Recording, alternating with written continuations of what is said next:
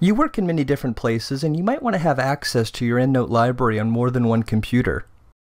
EndNote Sync allows you to synchronize the contents of your desktop library with a free EndNote Online account so that your references can be accessed from a desktop version of EndNote on a different computer, directly from EndNote Online via a web browser, or from EndNote for iOS.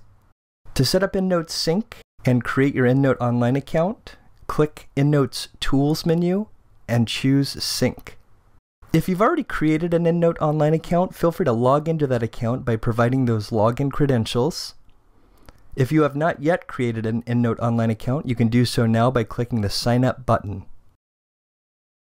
Once your account has been authorized, EndNote will prompt you to save a backup of your EndNote library before syncing it for the first time.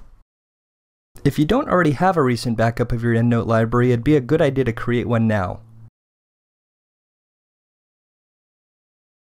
After choosing whether to make a library backup, EndNote will begin to synchronize the groups, references, and file attachments stored within your EndNote library. The progress bar in the bottom right corner indicates the syncing activity.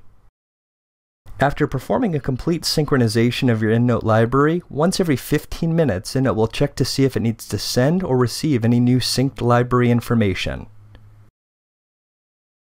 Let's pretend for a moment that I've synced my library up to EndNote Online from my desktop computer, and now I've come to my laptop where I've also installed EndNote and I want to access my synced references. I'd start by creating a new blank library to sync down to by choosing New from EndNote's File menu. Be sure to give secondary sync libraries a unique name, any name other than what you've named the library on your first computer. Now that I have a new blank library window showing on my screen, I'd start syncing with EndNote Online by clicking Tools, Sync.